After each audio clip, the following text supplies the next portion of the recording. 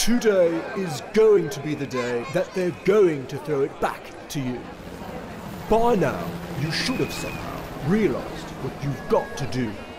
I don't believe that anybody feels the way I do about Puppet regime.